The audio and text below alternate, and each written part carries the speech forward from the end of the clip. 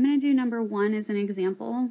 The chief component of glass is silica, for which the formula SiO2 can be used. Silica is dissolved by hydrofluoric acid that produces or okay so this is our reaction i can see it's already been um, balanced because i have coefficients in here you can double check um, just checking real quick one silicon one silicon two oxygen and then two because that two distributes um, four hydrogen four hydrogen because those twos multiply and then four fluorine again because that distributes and then the four fluorine there so i am balanced i double checked good to go these are answers in bold. I did put the answers on here so you can check your answers. So you guys do need to show the work.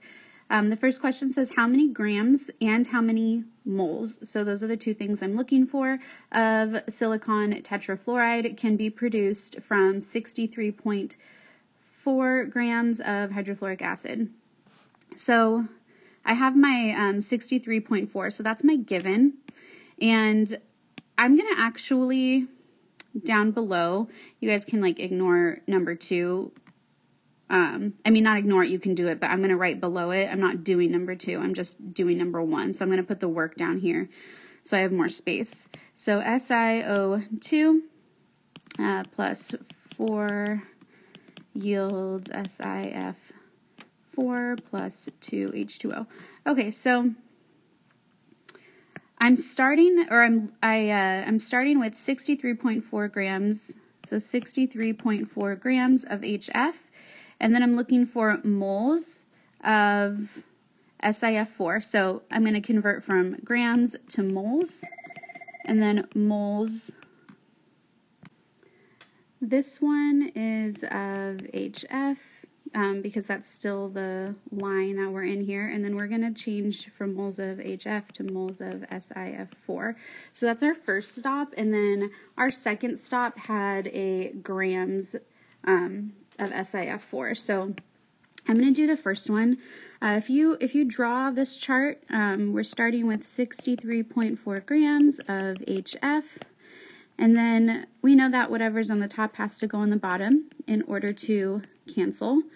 And we're going to convert to moles. So this path that we just drew is the top of our um, of our little conversion chart here. Uh, when we go from grams to moles, we use the molar mass. That's from the periodic table. So um, that means I'm going to take the mass of hydrogen and the mass of fluorine and add them together. And I get 20.006 and um, and that's for every one mole. And then I'm going to put my moles of HF on the bottom and convert to moles of SiF4 on the top. Um, when I when I'm doing a mole to mole conversion, I use coefficients from my balanced chemical equation. So my coefficient for HF is 4 and my coefficient for SI4 is 1. So I'm going to put that in the calculator as 63.4 um, divided by 20.006 divided by 4. Remember when you cross the line on the bottom, you hit divide. When you cross the line on top, you hit multiply. So that means my answer is 0.7, and I need three sig figs. So in the calculator, you get 0.7922. So the 2 keeps the other 2 out of 2, and that's moles of SIF4. And then I can go back up and I can check it. And that's what I got. It also asked me to calculate grams, right? Grams and moles of SIF4. So I'm going to also calculate grams. I'm going to just continue this on. You can rewrite it if you want, but I'm just going to continue it on in a different color here. So I'm going to go one mole of SIF4 to grams. That's this last stop here. And again, going from moles to grams, you use molar mass. So that's again from the periodic table. So I'm going to add up one silicon and four fluorine. And I get 104.078.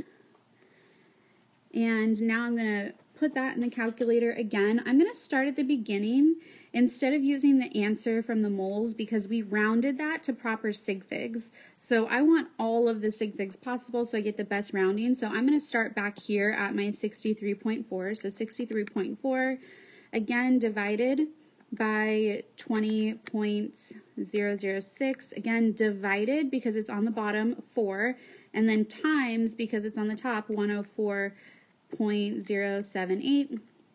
And I get, again, I need three sig figs, so I get 82.45, uh, so that 5 is going to round the 4 up to a 5 grams of SIF4. So there is my other answer. I'm just going to go back up and check and make sure that's right. 82.4, and I got 82.5. That is correct. Um, the reason it might be off by a little bit like that is from the use of a different periodic table for the molar mass here, um, which is okay. That would be correct on a test. So there's an example. Um, go ahead and do number two and then um, so forth. I think there's, um, I don't know, like 10 or 15 problems. So um, go ahead and do those. If you guys have any questions or need to see more examples, please let me know.